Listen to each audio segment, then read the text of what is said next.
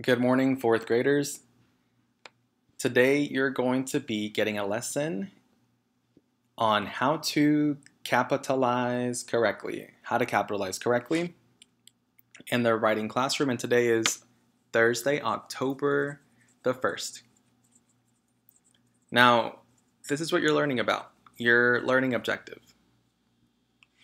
I will practice the MINTS rules to know how to capitalize correctly. Now, we're going to be editing sentences, meaning looking for errors, looking for mistakes, and how to fix them. You have to know the acronym CUPS. C U P S. The C in CUPS stands for words that need to be capitalized.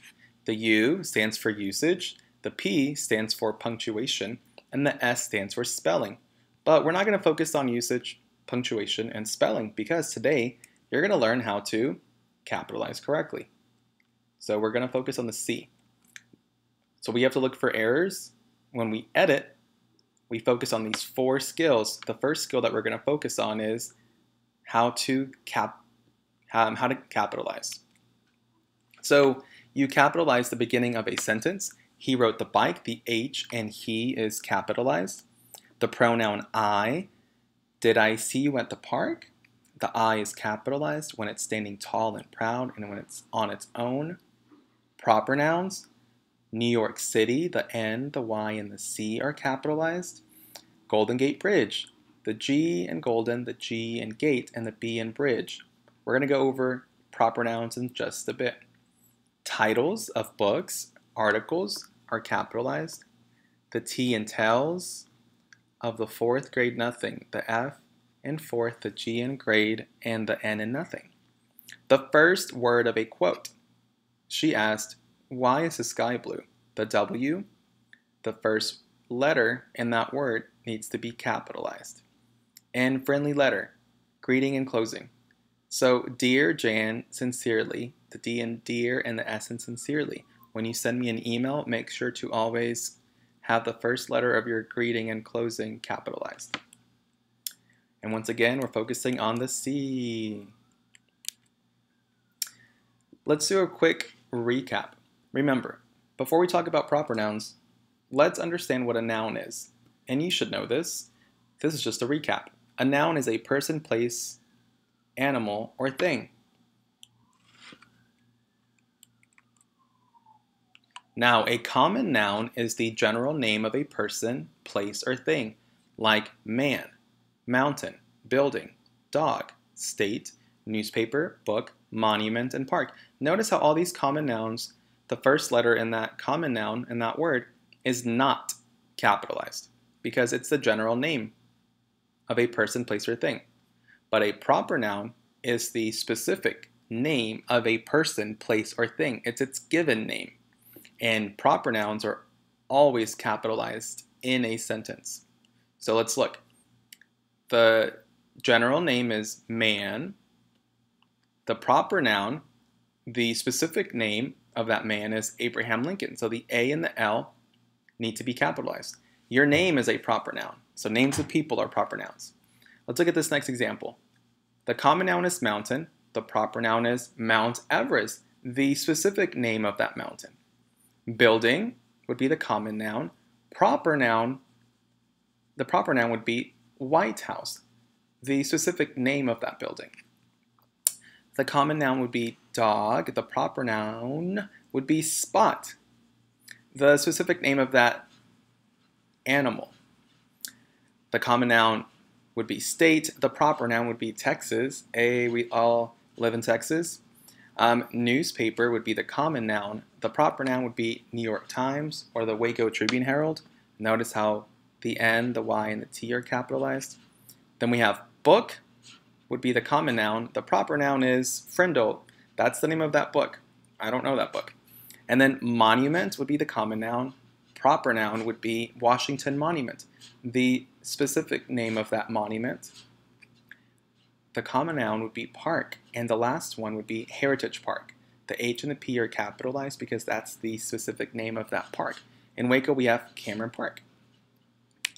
So this is the MINTS acronym that's going to help you. We're going to be going over the Mint's rules on what words to capitalize, and we'll go over some of the other rules in knowing what words to capitalize. There's a lot of them, so I don't expect you to memorize all these rules, but I do expect you to go back and look at this video and look at your notes um, that I'm going to be posting in Seesaw when you work on anything related on what words to capitalize.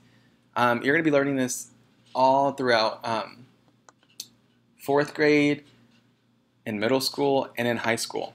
And there's some adults that don't know how to capitalize correctly, so I want you to just do your best and to try so now, when do you capitalize?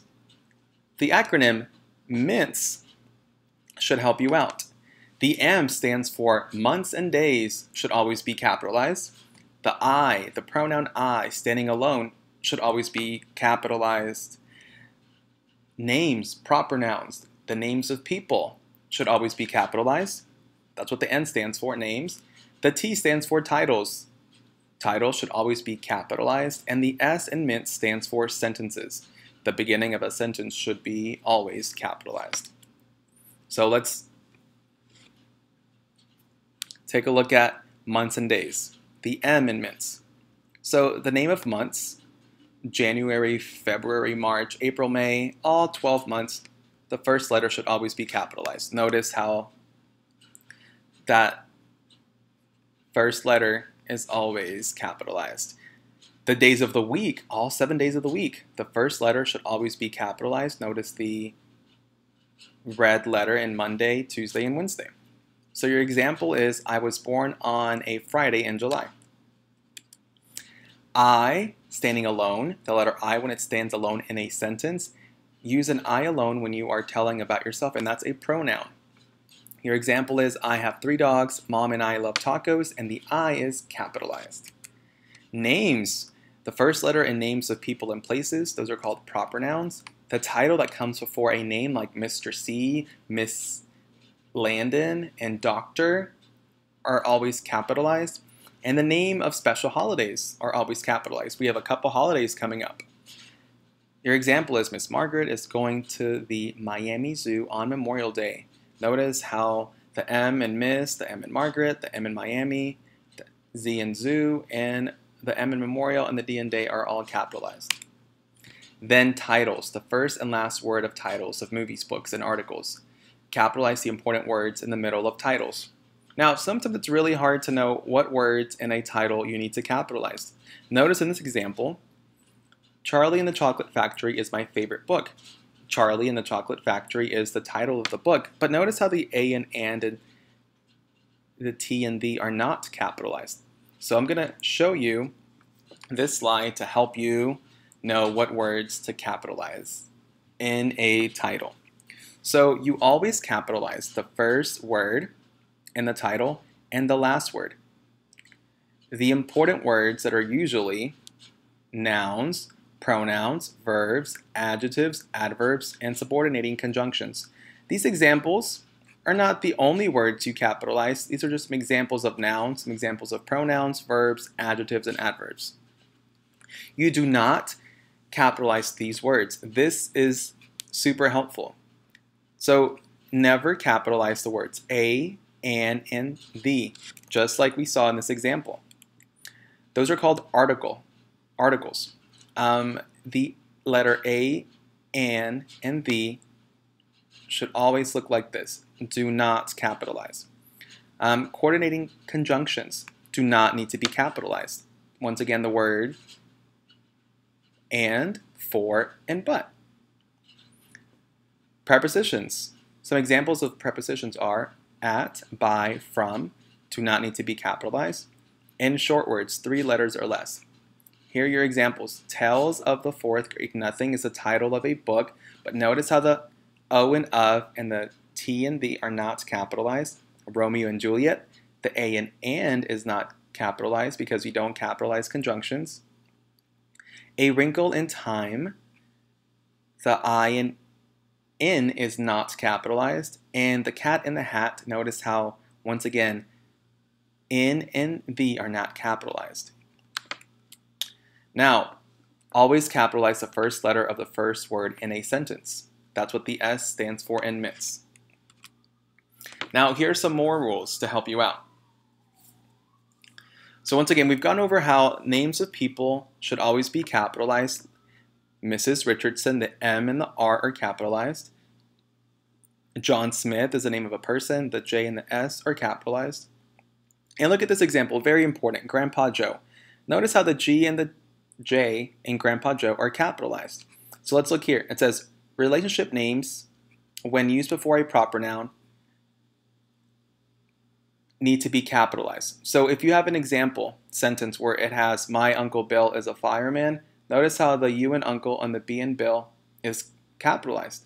But when you just have the word aunt with no name following it, and her aunt works at the elementary school, then the A and aunt should not be capitalized.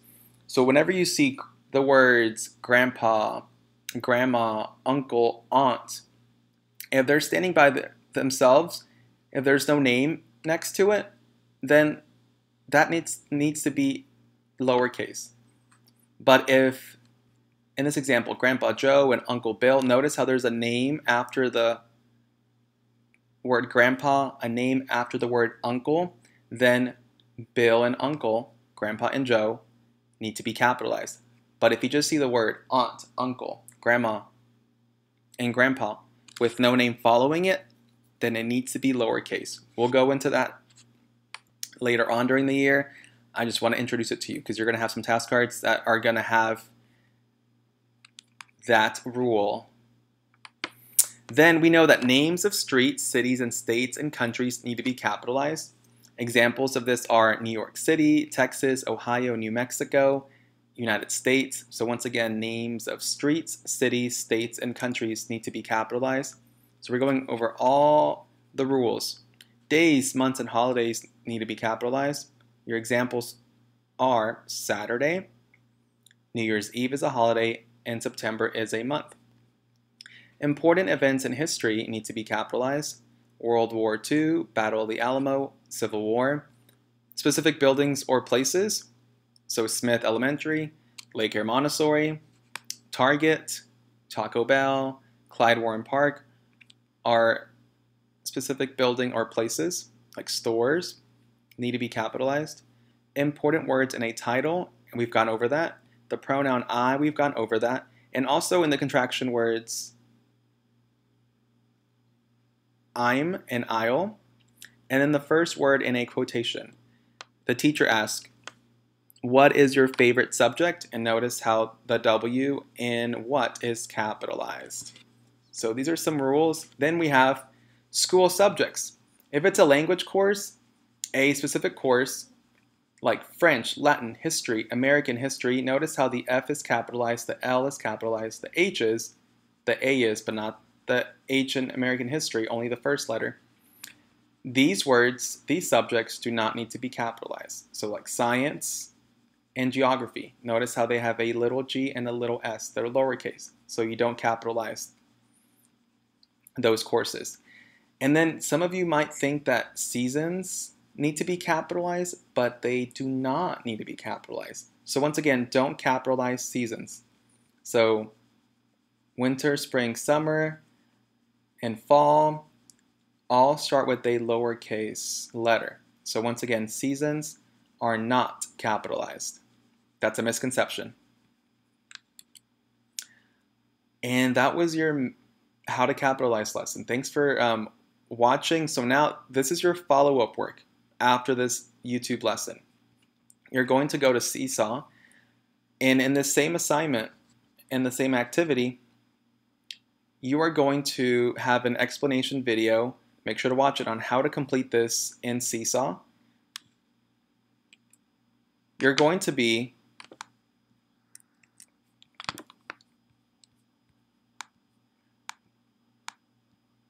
using this editing mark to place underneath the letters that need to be capitalized. Since we, we really can't um, use the drawing tool to cross it out, that's really kind of hard in Seesaw. So what I did is I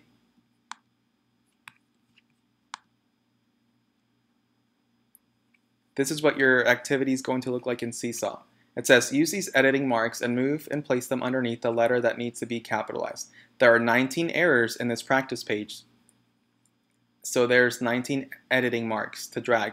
So the three lines underneath is the editing mark that you write underneath a letter that needs to be capitalized. That's a symbol that we are going to use and that everyone uses.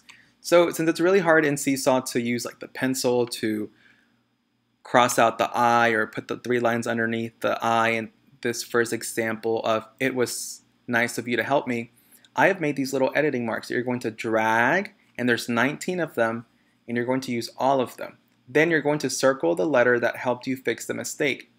So after you move the editing mark, for this one, for number one, it was nice of you to help me we would move it underneath the letter I because that's the start of a sentence. Then you have to circle, look at the acronym next to the sentence, MINTS. It says you're going to circle the letter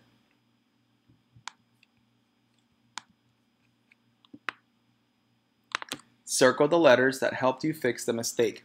So then on number one, I would need to get my pencil on in Seesaw, and then I would circle the letter S in Mints because I needed to capitalize the start of the sentence. Then in Seesaw, I'm also going to upload your notes, the rules page, the rules notes, what we went over in the lesson.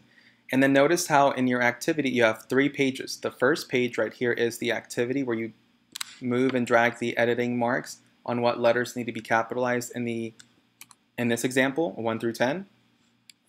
And then page two and three is going to be the notes page, the rules that I want you to go back and look because I don't expect you to memorize all these rules on what words to capitalize, but I do expect you to use your notes. So the notes are going to be on page two and three of this activity. And then when you're done, hit the green check mark and make sure that you use all 19 errors, all 19 editing marks. And the editing marks are once again these three lines, one, two, three, which signifies what letters, what letter needs to be capitalized in that word. And then you have to circle the letter next to it that helps you to fix a mistake. So on number one, we would move the little editing mark underneath the letter I, and then we would circle the S right here in the acronym MINTS. Thanks for watching.